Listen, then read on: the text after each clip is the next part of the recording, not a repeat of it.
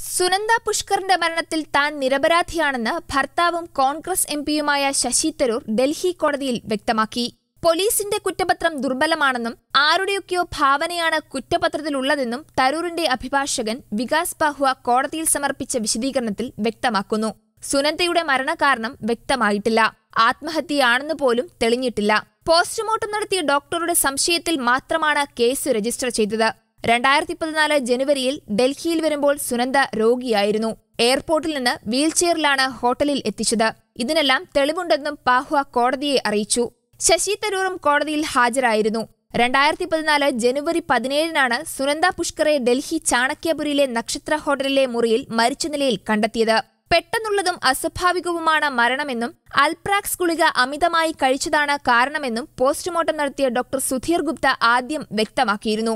മരണം അന്വേഷിക്കുന്ന പ്രത്യേക സംഘം ശശി തരൂർ ഉൾപ്പെടെ ഏഴുപേരെ ചോദ്യം ചെയ്തിരുന്നു.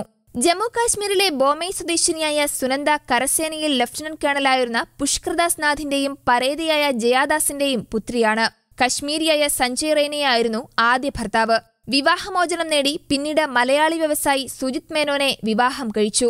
അദ്ദേഹം കാറപകടത്തിൽ മരിക്കുകയായിരുന്നു. രണ്ടായിരത്തി പത്ത് ഓഗസ്റ്റിലാണ് സുനന്ദയെ കേന്ദ്രമന്ത്രിയായ ശശി തരൂർ വിവാഹം ചെയ്തത്. ഇരുവരുടെയും മൂന്നാം വിവാഹമായിരുന്നു. News desk Kerala Kaumudi.